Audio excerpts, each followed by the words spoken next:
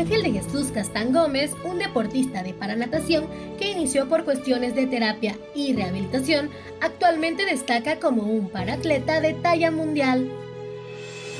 Deporte adaptado pues es una, una forma de demostrar que las personas con discapacidad somos capaces de muchas cosas este y hacer ver que hacer ver que la gente vea que podemos hacer. Una medalla de plata en los Panamericanos de Sao Paulo, Brasil, cuatro medallas de plata y tres de oro en los diversos Juegos Paranacionales son algunos de sus triunfos.